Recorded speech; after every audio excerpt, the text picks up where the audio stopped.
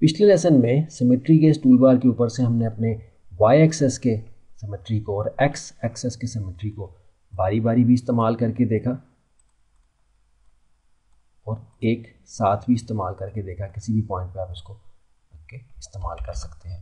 अभी जो हमने देखना है हमारा रेडियल सिमेट्री है। क्लिक करें तो आप देख रहे हैं कि एक्स और वाई के दोनों सिमेट्री ऑफ़ हो गए और रेडियल सिमेट्री ऑन हो गया।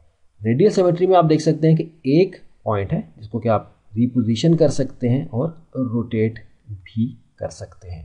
लेकिन इसमें जो इसकी सिमेट्री की लाइंस हैं, आप देख रहे हैं कि ये बहुत ज़्यादा हैं। कितनी है?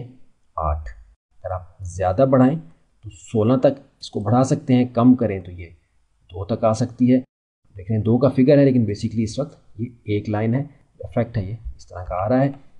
आप इसको कुछ बढ़ा दें यहाँ से, हम इसको सात कर देते हैं। सात लाइन हमारी बन गई। अब जो भी स्ट्रोक और जो भी कलर आप इस्तेमाल करेंगे, उसका इफ़ेक्ट सात एंगल्स पे आएगा। फ़र्ज़ आप देखिए, यहाँ हम एक दायरा बनाते हैं।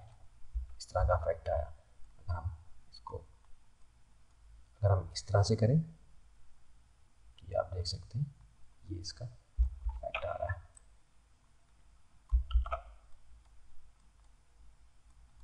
बहुत इंटरेस्टिंग है। कुछ वक्त आपने इस पर लगाना है, बल्कि काफ़ी वक्त इस पर आप लगा सकते हैं। इस तरह का भी आप स्ट्रोक लगाएँगे अकॉर्डिंगली ही आपके पास रिज़ल्ट बिल्कुल मुख्तलिफ़ आएगा।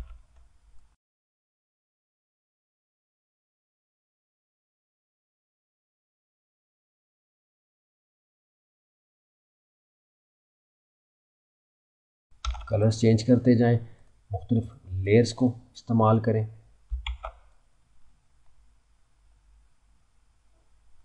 बहुत इंटरेस्टिंग रिज़ल्ट है।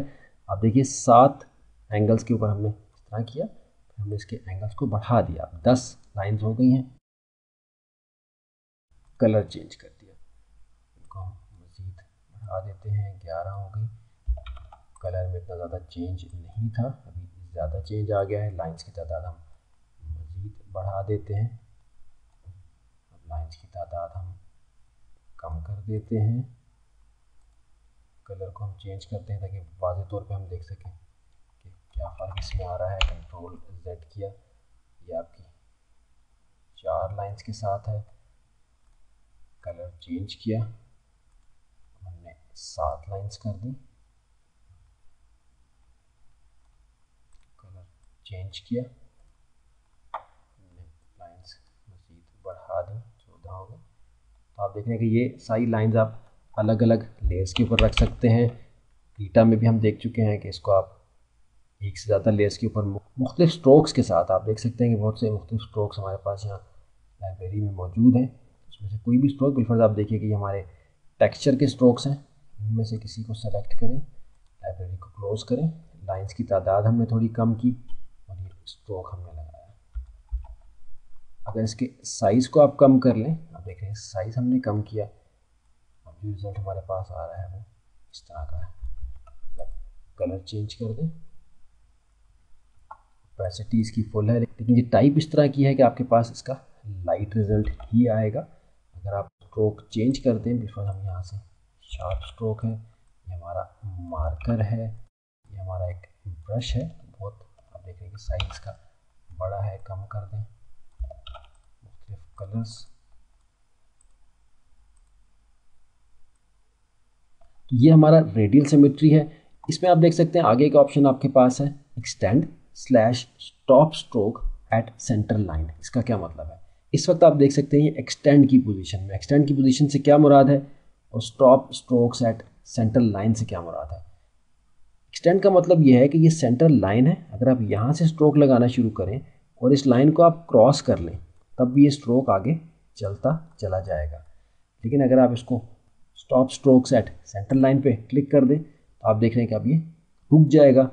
इस तरफ़ से आपने शुरू किया तो इस लाइन को ये क्रॉस नहीं करेगा। लाइन को क्रॉस नहीं करेगा। इस जानब से आए तो यहाँ तक जाएगा, आगे नहीं जाएगा। जबकि अदरवाइज़ आप देख रहे हैं कि अगर इस तरह हम ये स्टॉप स्ट्रोक हैं, ये आगे नहीं जा रहे, हम इसको ड्रैग कर रहे हैं, लेकिन ये लाइन पे रुक जाता है। इस जानब से जाएँ तो ये इस जानब रुक जाएगा। ज़ाहिर है कि इससे भी मुख्तलिफ़ रिज़ल्ट लिए जा सकते हैं। लेकिन अगर हम एक्सटेंड को कर दें फिर ये आप एक पॉइंट से आके दूसरी साइड तक जा सकते हैं। तो इन दोनों ऑप्शन को आप थोड़ा सा इस्तेमाल करके देखेंगे। लॉक से मुराद ये है कि अब आप इसको मूव नहीं कर सकते और ये शो हाइट सिमेट्री लाइंस की ऑप्शन है, इसको क्लिक करने से आपकी लाइंस गायब हो जाती हैं। ये भी एक इंटरेस्टिंग ऑप्शन है। अब देखिए, अगर हम थोड़ा सा जूम आउट करें, थोड़ा सा इसको पैन करें अपने व्यू को कंट्रोल सेट करके हमने ये सारी लाइंस यहाँ से ख़त्म की रिपोजिशन किया और हमने एडजस्टमेंट करके इस हाइड के ऑप्शन को क्लिक कर दिया। आपकी लाइंस गायब हो गई। अब अगर आप काम करेंगे तो लाइंस नज़र नहीं आएँगी, सिर्फ़ आपको रिज़ल्ट इसका नज़र आएगा। इंटरेस्टिंग ऑप्शन है, कुछ वक्त लगाएँगे अपने वाई एक्सेस एक्स एक्सेस और रेडियल सिमेट्री पे।